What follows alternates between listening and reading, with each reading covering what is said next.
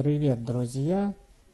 Хочу вам рассказать интересен, давайте узнаем на сайте данного проекта, а, на котором мы сейчас и находимся. А, ссылка на сайт будет в описании под видео. Это bluenote.world.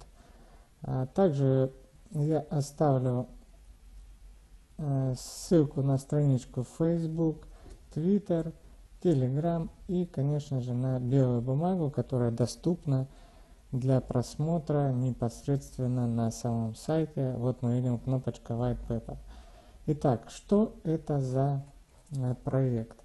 А, Blue Note это проект, который непосредственно связан с рынком энергоэффективности и который должен вывести его на новый уровень благодаря использованию технологий блокчейн.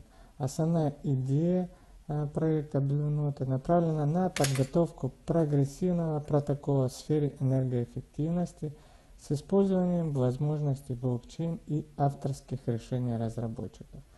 А возможности новой децентрализованной экосистемы позволят операторам внедрять прогрессивные стандарты и технологии с производительным обменом своими решениями и авторскими разработками с коллегами в различных уголках планеты.